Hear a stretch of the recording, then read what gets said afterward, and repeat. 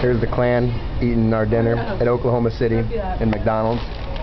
Brown didn't want to eat all his food because he wanted to rub it in later when nobody has food except him. I munch. So therefore, plus he really only wanted deer, as you can see. He was looking for a bow to go hunting. Well, we ate it all earlier. Conrad, I don't know what he's drinking. But I think he's got a little yoo-hoo in that soda. And look, of course, Christine has a salad. Of course. We're on vacation and it's salad. Salad. Me, I'm having a McChicken. Look, ah, McChicken sandwich. I had a double cheeseburger, What'd you have? double cheeseburger and some fries. That's it. You store anything underneath the hat? He's Yeah. watching his figure. What's down there? That's where I keep our money since the van door doesn't lock.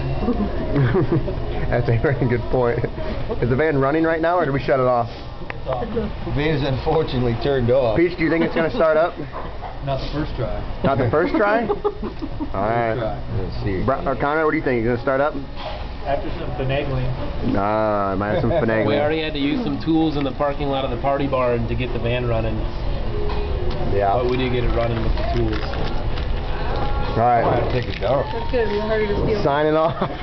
Brown's gotta go use the facilities. Later, homies.